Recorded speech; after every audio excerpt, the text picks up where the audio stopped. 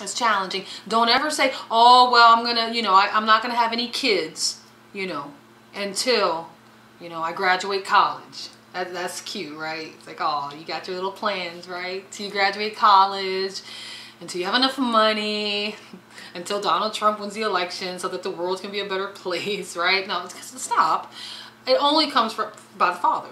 Okay, now I'm not saying to go out and get pregnant. I'm not saying that. But if you happen to have a child, and I may be I may be speaking to somebody right now. Because the Lord just showed me somebody.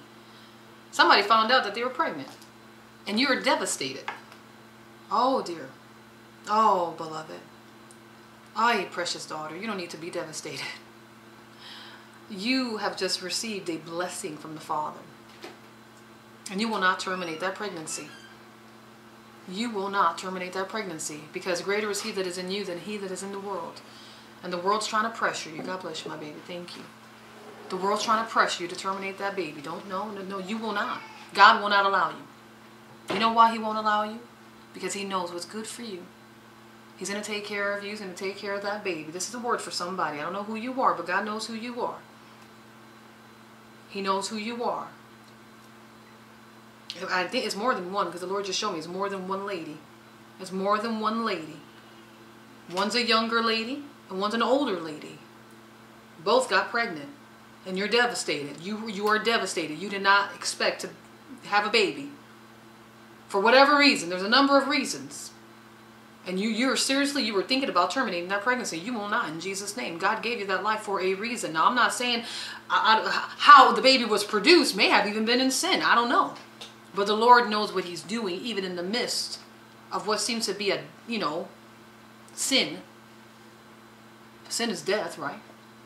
Sin, and you know, in a way, it's it's it's ungodly. It's I mean, not in a way it is ungodly, but in a way it's death. That actually, well, it says the wages of sin is death. That's what it says in the book of Romans. But even, you know what God likes to do that I've noticed? God likes to bring forth resurrection life when something is dead. And he has brought life. He's brought life in the midst of a situation that you did not expect. Be in peace. He will take care of you and that baby, and all will be well in Jesus' name. Praise be to God. Amen. We just lost Facebook. I need to get Facebook back up. Facebook! I'm on the way. Hold on. We got to get Facebook. We lost Facebook. That word was uh, that was that word also was predominant. I say this. It was more for Facebook too. I need to make sure I say the word Facebook. We're back. Where'd you go? We're here. We're live on air. Praise God. Listen, I was talking about a word. We got. I have headlines. We're about to get into the headlines right now. But somebody. It, now this is a, a, a word for somebody very specific. A woman. There, there's two women that the Lord showed me, and it's an older woman and it's a younger lady and you found out you're pregnant and you're devastated. You're devastated. You you you are ser- you were seriously thinking about terminating that pregnancy and God says you will not. You will not terminate that pregnancy. He will take care of you and that baby. He knows how the baby came about. It may not it may not have been in a righteous way. It may have been in sin. For one of the ladies, it may have been it could have been for both of the ladies. Could have been for both of the ladies, may have been in sin. That you ended up getting pregnant because you were doing some kind of sinful deed or action. I, I, that's what the you know if that. But the Lord knows what He's doing. Even in the midst of death, He brings forth resurrection life, and He purposely allowed life to form, not for you to terminate it. You're not God. You're not supposed to be terminating any life. He brought life in the midst of that situation to show forth that He loves you, and that He knows what He's doing, even in the midst of death. He's bringing forth life. Now you honor the Lord. You trust him. He'll sustain you. He'll sustain that baby. He'll he'll he'll bring substance. He'll bring is that now did I say that word right? Substance, Lord? Substance, substance? He's going to provide for you. He's going to be your providence. He's literally going to take care of you and that baby. But you will not terminate that pregnancy. This is a word for somebody. The Lord just showed me that so clear. You were devastated. You were devastated. You did not, you were saying, oh my, there's no way. You're, you were crying. You, you felt like you were in a fog. It was so surreal when you saw the, you know, when you found out you were pregnant, the, the positive test came forth positive and you're tripping out. You do not know what to do. Jesus knows what he's doing through you now. You let him. You will not terminate that child in the name of Jesus Christ. You will not. The Lord knows what He's doing. He's going to take good care of you. Now you you receive this word and say, Lord, I hear you, and lead me. I surrender. You tell Jesus now. Say, Jesus, I'm surrendering to Your will. I'm gonna tell you something. Whether you surrender to His will or not, you will not terminate that pregnancy because Jesus said He's keeping that baby. He knows what He's doing, even in the midst of of of, of uh, you know situations that involve the sin. He knows what He's doing. But you need to surrender your life to Him. You need to allow Him to take over. He loves you. He's not mad at you. That's not punishment. That baby's not punishment. I, please, live stream, hang out with me, YouTube. Hold on. I'm talking to somebody on Facebook, very specific here. I, that, that, that was not punishment. That baby, you finding out you were pregnant was not punishment. okay? It may feel like a punishment. It may feel like you did something wrong, which you probably did. I don't know. You think you're not prepared and all that stuff? Hey, you're probably not, but God will get you prepared. He'll take care of you and the baby. And you're, you're, you're going to be a woman that he is desiring to grow you into.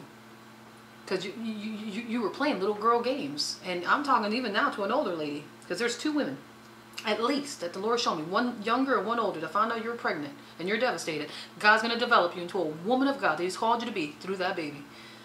Watch. Terminate, to, you, you know, ever terminate life. You're not God. None of us are. None of us are. But you could even see it that to terminate that child would be to terminate the future that God has for you. To grow you up to be a fearless woman of God that He's called you to be. Surprisingly, is going to be through that child. You'll see in Jesus' name. All right, I got to move on. Breaking news. Breaking news. This is Evangelist Anita Fuentes. And I am Pastor Ignacio Fuentes. And we are the founders and producers of EMOAF Church and Open Your Eyes People broadcast. Our broadcast brings the latest in breaking world news headlines matching Bible prophecy. We've been honored to bring millions around the world the urgent message of the hour we are living in, according to Bible prophecy, by using real time headlines to awake the masses and bring them to a saving knowledge of Jesus Christ. Our broadcast has grown so substantially that our current home studio office no longer fits the massive growth our ministry is expanding to. We are raising desperately needed funds to help launch an official Open Your Eyes People studio at EMOAF Church location. This cost will help us to start to purchase the following. A leased space and actual location building, studio grade camera equipment, including camera control systems, studio grade lighting, projectors and TV screens, audio converters, interfaces, playback and recorders, microphones and speakers, grade mixers and switchers, dedicated seamless and professional grade live streaming services, and most importantly, foreign language translation on multiple platforms and airtime on radio, television, internet, satellite, cable, and much, much more. Now we need your help. The message we bring is urgent.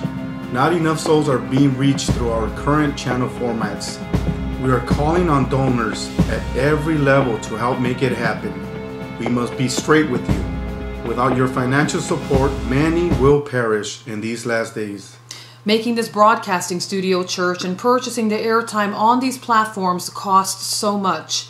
And we're believing that in the midst of the precious donors who could give, that there will be a few of you that will step up and make a thousand dollar donation or more. Put your hand to the plow right along with ours and help us reap this end time harvest of souls together. In, In Jesus', Jesus name, amen. amen. The only way, the only way that your name is going to be written in the Lamb's book of life is if you've confessed Jesus Christ as Lord. That you believe in your heart that He was raised from the dead, that He was born through the Virgin Mary he walked this earth for 33 full years. The last three years of his life, he fulfilled the ministry that the Father commended unto him to do. And that ministry was this to take upon himself the sin of the world, your sin and mine. You gotta receive this message. You gotta receive the, the, the, the message of Jesus Christ, the message of the cross. You gotta receive God. You gotta receive His Spirit. Because that's the only thing, that's the only one that's gonna save you. The Holy Spirit is a person. He's going to save you from hell. He's going to save you from the pit of hell.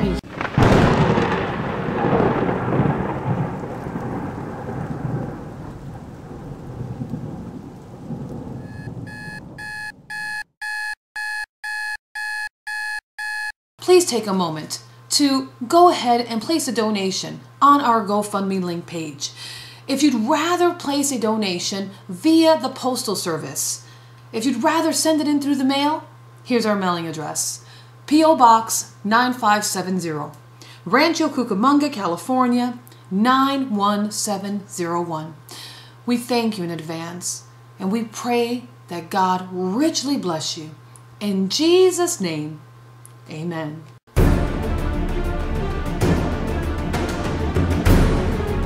Open your eyes, people. With evangelist Anita Fuentes. Reading Breaking World News Magic Bible Prophecy. All the latest headlines confirming the hour which we are living. Tune in every Tuesday morning at 5:30 a.m. World Harvest Television.